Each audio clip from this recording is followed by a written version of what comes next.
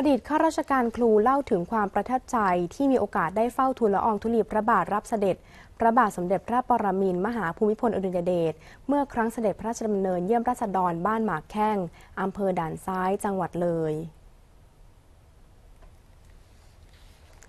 นายสนั่นสิงสถิตอายุ 82 ปี อยู่บ้านเลขที่ 178 หมู่ที่ 1 ตำบลด่านซ้าย อำเภอด่านซ้าย จังหวัดเลย อดีตข้าราชการครูบ้านหมากแข้ง ตำบลกกสะทอนอำเภอด่านซ้าย เป็นบุคคลหนึ่งที่มีโอกาสได้เข้าเฝ้าพระบาทสมเด็จพระปรมินทรมหาภูมิพลอดุลยเดชอย่างใกล้ชิด เมื่อครั้งเสด็จพระราชดำเนินทางเฮลิคอปเตอร์ มาเยี่ยมประชาชนในพื้นที่บ้านหมากแข้ง ซึ่งเป็นพื้นที่สีแดง มีการสู้รบระหว่างทหารไทยกับผู้ก่อการร้ายคอมมิวนิสต์อย่างหนัก นายสนั่นเล่าว่าสมัยก่อนบ้านหมากแข้งไปมาไม่สะดวก ต้องใช้เวลาเดินทางเป็นวัน ชาวบ้านถูกคอมมิวนิสต์ยิงตายทำมาหากินไม่ได้ จนเมื่อวันที่ 21 ธันวาคม พุทธศักราช 2516 พระบาทสมเด็จพระปรมินทรมหาภูมิพลอดุลยเดช สมเด็จพระนางเจ้าพระบรมราชินีนาถ สมเด็จพระเทพรัตนราชสุดาสยามบรมราชกุมารี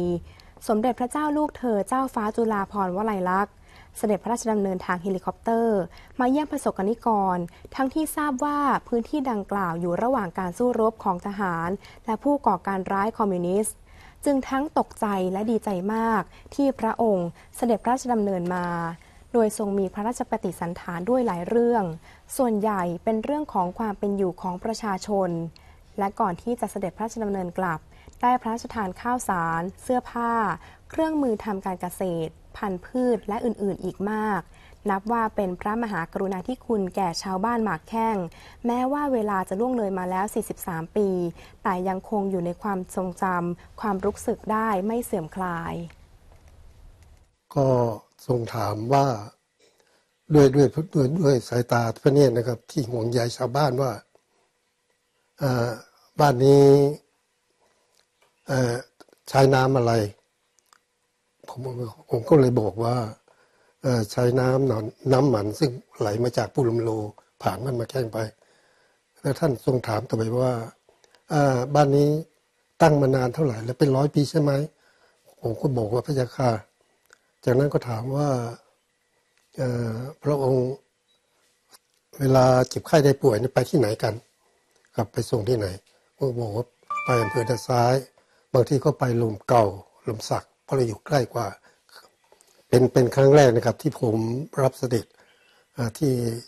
พระองค์ท่านเสด็จมาบ้านมาแข้งนะครับ ก็รู้สึกตื่นเต้นครับตื่นเต้นมากทีเดียว เพราะว่าจะได้เห็นพระองค์ท่านทั้งสี่พระองค์ที่เสด็จมาพร้อมกัน ตื่นเต้นแล้วก็ดีใจ ดีใจอย่างหนึ่งก็คือดีใจว่าพระเจ้าอยู่หัวนั้นพระบรมราชินีนาถนั้น ถึงแม้ว่าจะทุกข์ยากอย่างไร ในประเทศไทยเนี่ยพระองค์ท่านก็เสด็จไปเยี่ยมไปยามไปให้กำลังใจ นี่บ้านมาแข้งนั้น เป็นเป็นเป็นเขาเรียกว่า